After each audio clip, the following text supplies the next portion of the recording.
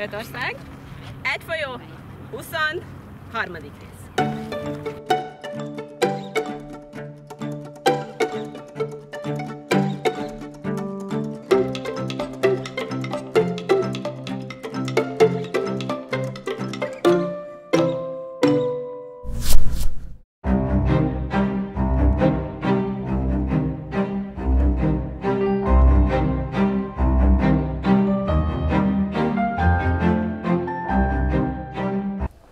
most saját tapasztalatból mondom, hogy az én gyerekeimnek az én gyerekeim szeretik a természetet.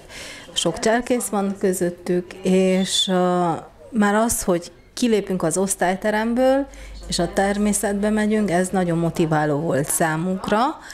Uh, élvezték azt, hogy uh, összeszedik a szemetet, és találnak mindenféle érdekes dolgokat, papucsot, babát, fürdőkádat, televíziót. És egy olyan sikerélményük volt, mikor meglátták a sok zsák szemetet, amit összeszedtünk. És a jutalom pedig az abban volt, hogy persze volt egy kevés szórakozás is a, a, az akció után. Sütöttünk kolbászelőnát, és jól éreztük magunkat kint a tiszta természetben. Насправді нам в Ужгороді пощастило із активною молоддю, яка, бачачи, що приносить річка, запитує: а ми будемо прибирати вже сьогодні? Ми підемо на прибирання? І я насправді не знаю, чи це через те, що вони так люблять нашу природу, чи через те, що в них не буде уроку, але дуже тішуся разом з ними, що в них такі запити.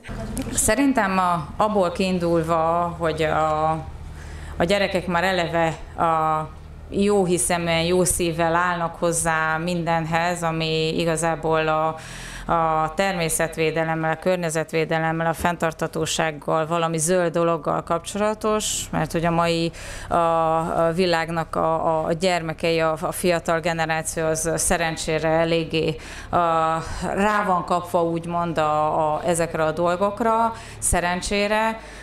Nagyon sokat oktatják őket a, a pedagógusaink és ugye a szakemberek a, ezzel kapcsolatosan. A, nálunk a körös, a, a sebeskörös egyik partszakaszának az örökbefogadása, az már az motiválta őket, hogy valami jót tudnak tenni a környezetért, valami, valami jót tudnak cselekedni, és ettől így felcsillantak is szemük, és az, amikor egy pedagógus, egy, egy, egy szakember, a, aki igazából vagy környezetvédelemmel, vagy valami hulladékgazdálkodási tematikában tanítja a gyerekeket, és ezt látja a fiatalokon, akár a kicsiken is, mert itt beszéltünk a kisebbekről, én most jelen pillanatban ugye a másodikos korú gyerekekről beszélek, 8-9 évesekről, repültek szinte kifele a folyó felé, és amikor megélkeztek, akkor szinte uh, rajongás rivással vették körbe a, a, a folyószakaszt, örültek, amikor így nekiindult a hattak saját magukba feltérképezni azt az egész részt, és, és örömmel szaladtak vissza, és ugyanakkor egy olyan kis kétségbeesés is volt a szemükben, amikor különböző hulladék típusokat hoztak oda hozzám, és megkérdezték, hogy ez most milyen típusú hulladék, és ezt akkor ezzel mit tudunk kezdeni. Tehát, hogy igazából a rajongás is a, a, az iránt, a, a, amit ők cselekedtek, meg volt bennük, de ugyanakkor az aggodalom is meg volt bennük, és ez, amikor minél kisebb korban elkezdjük nekik tanítani, ez olyan felnőttekké válnak, akiknek nagyon fontos a környezet.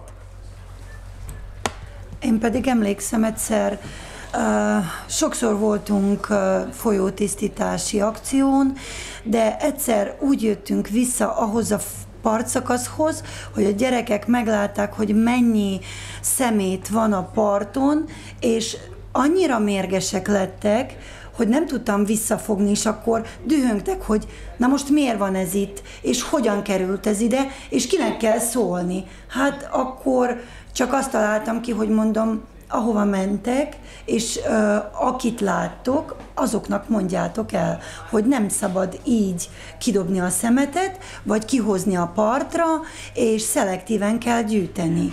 És uh, tudom, hogy egy pár hónap múlva nekem két gyerek úgy jött vissza az osztályba, hogy elmondták örömükbe, hogy a családba külön-külön kukákat állítottak fel a szülők, és szelektíven gyűjtenek. És ez volt a nagy élmény számomra is, hogy én már valamire megtanítottam ezeket a gyerekeket.